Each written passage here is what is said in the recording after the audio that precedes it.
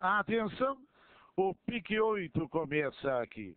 São agrupados os competidores. Jogo de Birigui vai brigando pelo primeiro lugar, juntamente com o Sir Prospector. Sir Prospector foi para a dianteira, tirou vantagem de pescoço, meio corpo entrando contra o Cabernet Time, tomou o segundo. Onsone bem aberto, já busca o terceiro com o jogo de Birigui e Cantatus. Já vão assim para a segunda parte da reta oposta. E a ponta é do número 2, Sir Prospector, Cabernet Time, segundo Onsone em terceiro. Jogo de Birigui perto em quarto, brigando pelo terceiro e segundo lugares. O lote vai agarrado, primeira parte da grande curva. E a ponta é de Sir Prospector enquanto Onsone e Cabernet Time começam a ganhar terreno também mais abertos. Cabernet Time vai pelo meio, Onsone mais aberto, vão atacando assim Prospector. Depois aparece o número 1, um, Cantatus. A seguir, jogo de Birigui. Já aborda na segunda parte da curva. Primeiro pare do pique 8. Cabernet Time atacando assim Prospector. Comportam a última curva, entram pela reta final. Cabernet Time pelo lado de fora, dominou a carreira, veio para a ponta, mais Onsone carrega mais aberto. Cruzaram os 400, Onsone dominou o pare, foi para a ponta. Já tirou vantagem, meio corpo, corpo inteiro. Cabernet Time dupla duplamente atacado lá por dentro e pelo lado ele fala pelo jogo do Birigui. Vão passando pelos dois, é o favorito, não tem mais nada.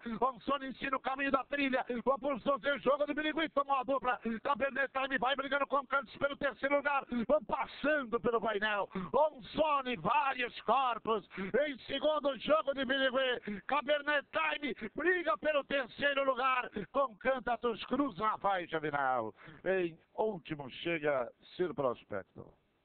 Está aí o resultado do terceiro pai do programa. Uma